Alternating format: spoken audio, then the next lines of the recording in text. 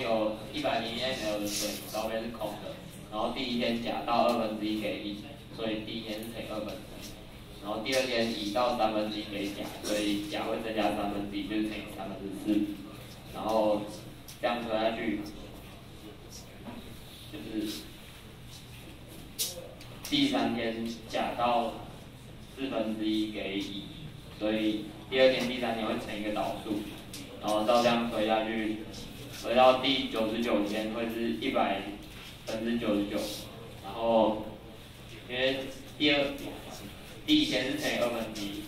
然后它的分母是二，所以下面乘等差数列，然后第